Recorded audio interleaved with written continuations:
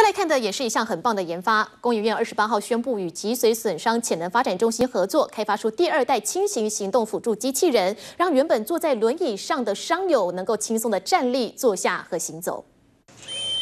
工研院二十八号宣布与脊椎损伤潜能开发中心合作，开发出第二代轻型行动辅助机器人，透过动力辅助，让原本坐在轮椅上的脊损伤者也能够轻松的站立、坐下和行走。我觉得今天对我而言，觉得意义非凡，因为不单单是我有起来行走的渴望和这样的梦想，我觉得今天能够把这个梦想分享给更多脊髓损伤中心的朋友们，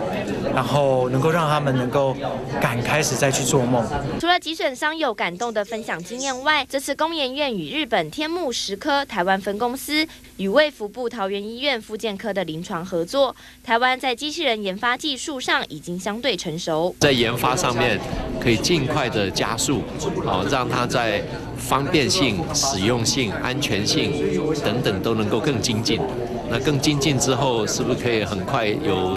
对应的法规可以通过，让它可以赶快可以商品化？机器人抢医疗商机，经济部工业局预估，今年台湾智慧自动化产业产值将从去年的九千多亿元攀升到一兆以上。台湾机器人产业俨然成为下一个科技明日之星。联合报系李寻英、吕小婵桃园报道。